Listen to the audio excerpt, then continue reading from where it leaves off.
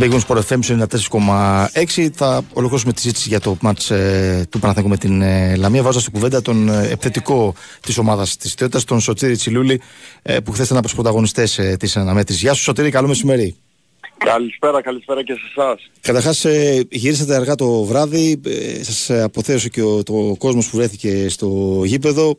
Ήταν σημαντικό το αποτέλεσμα γιατί έτσι όπως εξελίχθηκε το παιχνίδι, ήσασταν πίσω σκορ με 2-1, παίχτη λιγότερο για, για μία ώρα και λίγο παραπάνω και καταφέρετε να πάρετε το, το βαθμό της οπαλία. Ποια είναι οι πρώτες εικόνες που έχεις από το παιχνίδι; Ε, πραγματικά έτσι είναι. Γυρίσαμε αργά χθες, ε, η επιστροφή έγινε αργά. Ε, ευχαριστούμε όλο τον κόσμο που βρέθηκε εκεί να περιμένει μέσα στα μεσάνυχτα για να μας ε, συγχαρεί και να μας αποθεώσει. Ε, όσον αφορά το παιχνίδι πιστεύω ότι ήταν ε, μια κατάθεση ψυχής όπως είπε και ο προπονητής μας. Ε, δείξαμε το πάθος και τη δύναμη που έχουμε σαν group καθώς ε, τον αγωνίζησε σε μια τέτοια έδρα με τον ε, Παναθηναϊκό είναι πολύ, με 10 παίχτες είναι νομίζω πάρα πολύ δύσκολο να καταφέρεις ε, όχι απλά να πάρεις ε, αποτέλεσμα και να είσαι μέσα στο παιχνίδι. Νομίζω ότι αξίζουν πολλά συγχαρητήρια σε όλη την ομάδα, σε όλους τους συμπαίκτες μου, είμαι πολύ περήφανος ε, για αυτούς και νομίζω ότι αποδείξαμε για ακόμη μια φορά ότι τίποτα δεν είναι και ότι η ομάδα της Λαμίας, η φετινή ομάδα της Λαμίας δεν είναι τυχαία στη θέση που βρίσκεται. Ε, η αλήθεια είναι ότι αν εξαιρέσουμε τις ομάδες που διεκδικούν τον τίτλο, τον ε, ΠΑΟΚ, την ΑΕΚ, τον Παναθηναϊκό, τον Ολυμπιακό, ε, πολλοί λένε, το είπα και εγώ λίγο στην εκπομπή, ότι η Λαμία είναι η καλύτερη ομάδα με την ε, εξέλιξη που έχει τη φετινή σεζόν. Αν θυμηθούμε πέρσι, διεκδικούσε την την παραμονή. Αυτός ήταν ο στόχος. Βλέπουμε ότι είναι πολύ κοντά στο να μπει στα playoff και η εικόνα της αγωνιστικά είναι εξαιρετική, βγάζει μεγάλη σταθερότητα. Είναι ένα, αυτό από τα σημεία του, του παιχνιδιού της ομάδας ότι η συνέπεια, η σταθερότητα που βγάζει συνολικά στο, σε κάθε παιχνίδι; Νομίζω ότι από πέρσι ακριβώς ένα χρόνο συμπληρώνοντας αυτές τις μέρες με την έλευση του νέου προπονητή νομίζω ότι η ομάδα κάνει πορεία πρωταθλητισμού.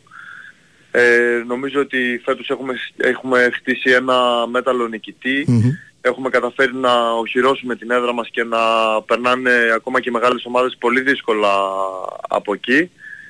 Ε, νομίζω ότι σίγουρα αν κάποιος μας έλεγε ότι στο φετινό πρωτάθλημα μετά τα τελευταία δύο χρόνια που πέρασε η ομάδα σώζοντας το Παρατσάκ θα διεκδικούσε τη θέση στα play-off νομίζω ότι θα ήταν άπιαστο όνειρο. Ωστόσο ο προπονητής μας έκανε να το πιστεψουμε και πραγματικά νομίζω ότι είμαστε όλο και πιο κοντά. Δεν υπάρχει κάποιο μαξιλαράκι ασφαλείας ωστόσο. Οφείλουμε να κατεβάσουμε τα κεφάλια να δουλέψουμε και να εμφανιστούμε το ίδιο σοβαροί και προσιλωμένοι και στα υπόλοιπα τρία παιχνίδια ώστε να καταφέρουμε αυτό το στόχο τον πολύ υψηλό που έχουμε θέσει.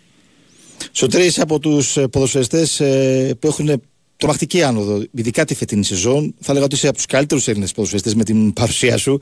Ε, τι κάνεις δηλαδή, πώς προετοιμάζει τον εαυτό σου και, και για το σημερινό παιχνίδι και για το χθεσινό παιχνίδι θα σε ρωτήσω, δηλαδή πώς το προετοίμασες; Ε, κοιτάξτε, αρχικά ευχαριστώ πολύ για τα καλά σας λόγια. Ε, η αλήθεια είναι αυτή και εγώ έτσι αισθάνομαι. Νομίζω ότι οφείλω πολλά στο σύνολο και στο group, οφείλω πολλά στον προπονητή ε, τον γνωρίζω προσωπικά, ξέρει πολύ καλά να παίρνει την πίεση και το άγχος από κάθε παίκτη και να παίρνει το 110% από αυτούς.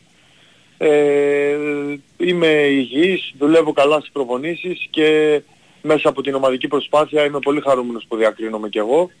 Ε, δεν είναι κάτι συγκεκριμένο, νομίζω ότι ε, όπως έχω ξαναπεί αρχή είναι η ίμιση του παντός ε, και ξεκινώντας καλά εμείς την ε, σεζόν νομίζω ότι μας ξεκλείδωσε ακόμη περισσότερο και μπορούμε να δείξουμε και τις ε, ατομικές ε, ικανότητες του κάθε Ε, για το θεσινό ε, παιχνίδι για να κλείσουμε την ε, κουβέντα σωτήρη η ομάδα ε, προηγήθηκε, σοφάρισε ο Παναθηναϊκός, πέτυχε δεύτερο γκολ ε, και όσο υπάρχει αυτή η πίεση με παίχτη λιγότερο ε, πολλοί λέγανε ότι η Λαμία θα υποχωρήσει, θα τα καταφέρει, θα δεχτεί και άλλο γκολ. Ε, είπατε κάτι και στο, στο ημίχρονο παίζοντας με 10 παίχτες ε, και με την πίεση που υπάρχει για να φτάσεις σε αυτή την ανατροπή και να σκοράρετε για το 2-2.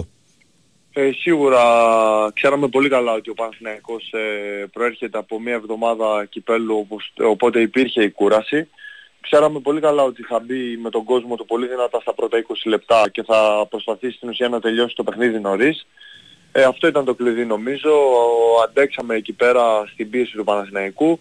Ευτυχήσαμε με μια εκπληκτική ατομική προσπάθεια του Καρλίτος να βρεθούμε μπροστά στο σκορ και η προσωπική μου άποψη είναι ότι αν ε, συνεχίζαμε με 11 παίκτες ότι ε, το παιχνίδι θα έγερνε υπέρ μας όσο περνούσε ο χρόνος.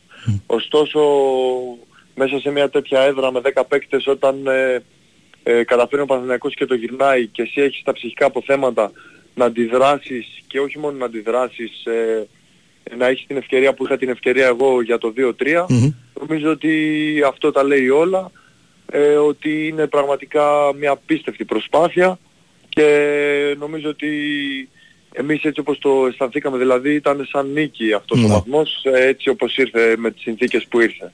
Είναι ευλογή να είσαι συμπαίκτης με τον Καρλίτος επειδή παίζετε κοντά στην επίθεση; Σίγουρα, ο Καρλίτος πρόσθεσε μεγάλη ποιότητα στην ομάδα, όπως και ο Ζόραν Τόσιτς από mm-hmm. πέρσι ε, είναι παίχτες με καταξιωμένη καριέρα, κανείς δεν μπορεί να το αμφισβητήσει αυτό. Τρομένη ενέργεια του Τόσιτς που μπήκε αλλαγή λίγο νωρίτερα, λίγα δευτερόλεπτα πριν και έκανε αυτή την πολύ ενέργεια της σέντρα για να, για να πει το, το γκολ το 2-2.